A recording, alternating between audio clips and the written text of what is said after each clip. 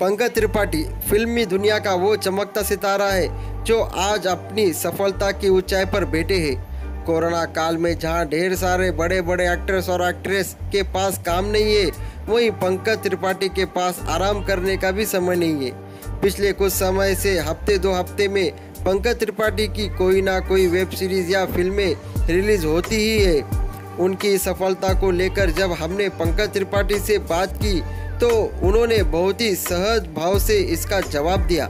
पंकज ने कहा, मैं आपको सच बताऊँ तो मेरे काम में कोई फ़र्क नहीं आया है। मैं पहले भी अच्छा काम करता था और मैं आज भी अच्छा काम करता हूँ।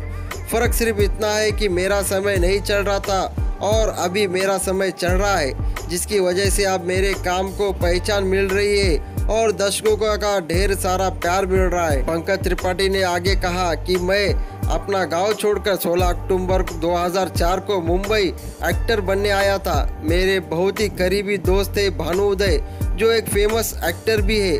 हमने नेशनल स्क्रू ऑफ़ ड्रामा में साथ में एक्टिंग सीखी है।